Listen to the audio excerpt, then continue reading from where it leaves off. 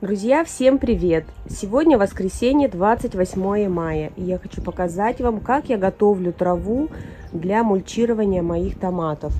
Вот только что мы скосили газон, посмотрите, сейчас тонким слоем я его разложила на дорожке для того, чтобы он подсох. Трава подсохла, поскольку сейчас она содержит очень много азота, и это, конечно же, плохо для растений, может произойти ожог. Вот, поэтому сейчас она у меня несколько часов просохнет, и я замульчирую мои перцы и помидоры в теплице достаточно толстым слоем. И так я буду делать в течение всего лета. Трава очень быстро перепревает, не дает расти сорнякам, э, почва не пересыхает, помидорки довольны. Ну вот, трава моя подсохла, я замульчировала свои грядки с помидорами, с перцами. Сейчас они будут себя прекрасно чувствовать под такой шубой.